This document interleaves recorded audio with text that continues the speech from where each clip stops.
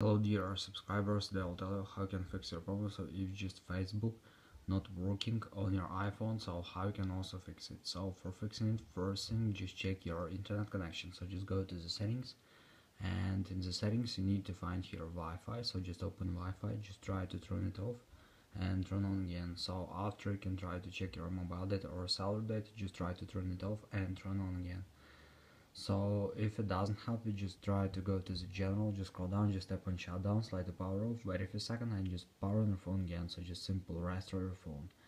And if you still have this error so just try to update your facebook app. So just go to app store just go to search tab. In search tab just right here facebook